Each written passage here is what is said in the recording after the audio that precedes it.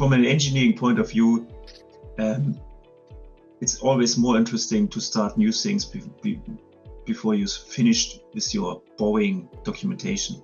And this is something now where we really have to focus on that you finished your work properly and completely before you start new things.